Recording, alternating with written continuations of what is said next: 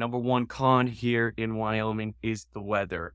And it's not mainly the weather in the summertime, it's the weather in the wintertime. And I'm not talking about snow, I'm talking about the wind. It is very windy in Wyoming, especially in Cheyenne and Laramie.